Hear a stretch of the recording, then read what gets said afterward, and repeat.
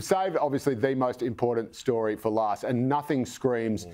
gravitas like the Commonwealth Games. Yes, it is that time of the quadrennial again as Australia prepares to head off to the Commonwealth Games later next month. The official uniform has been unveiled for the Australian squad.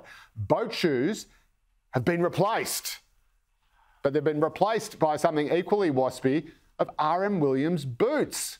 The head of product development at RM Williams said, Our brief this time was to elevate the uniform for the international stage and create something that will evoke pride in our athletes. So they had boat shoes when it was at the Gold Coast.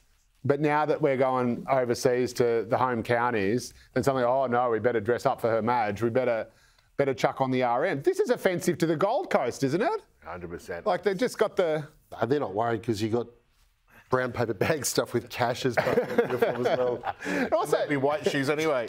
But also, like, it's, it's actually the worst thing about the uniform is it's actually quite tasteful. Like, it's actually mm. quite nice. Like, it's almost not like a unit. It's just clothes. Yeah, but Anyway. there's another big problem though. Okay, Todd, 30 seconds. Blame somebody. Go. I just want to blame the, the organisers here because there's no carrot and stick. You need to give some incentive for the athletes. If you're going to give them RM Williams boots, where's the incentive to perform? We won't win a medal over there if they'd mm. said, here's a pair of thongs, Yes. you're off to Manchester or wherever they are. Yep. If you win a medal, you get your own Williams boots. If you win a gold medal, get your moleskin jacket as well. Oh, I There like that. The full kit. How are we going to win a medal? They're already, they've already Yeah, got what got they it- wanted. They've all got their gold medals. They probably, they probably won't even make it to the games. They'll probably just bugger off. They'll be, to the Gold Coast. they'll be, they'll be seeking asylum in New Zealand. Um, Darren Barnett, 30 seconds. Who do we blame for this fiasco? Well, I think we blame the right because boat shoes clearly were a renowned costume for Australia, and Yeah. therefore, And the right. I mean, Clive having Palmer would RM boat Williams, all they're doing is pushing their own barrow, promoting their own products. Those being the boots they're famous for. It's so selfish. And who are they really? They're South Australian free settlers who think they're better than us. Well, do you know, apparently, like, and this, I don't know if this is the most No condescending- colony.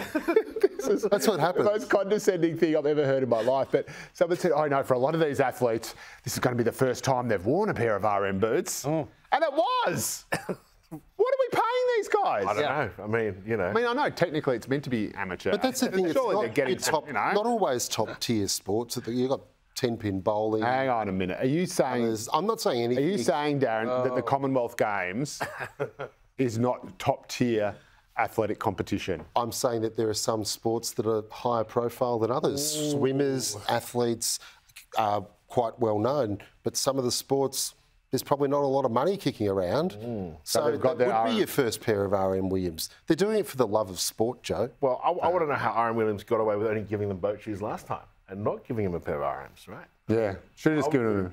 If I was competing four years ago and not this, this I'd be feeling hard done by. I didn't get my RMs. Yeah, so, sorry, we're all out of RMs, but here's a pair of Dunlop volleys.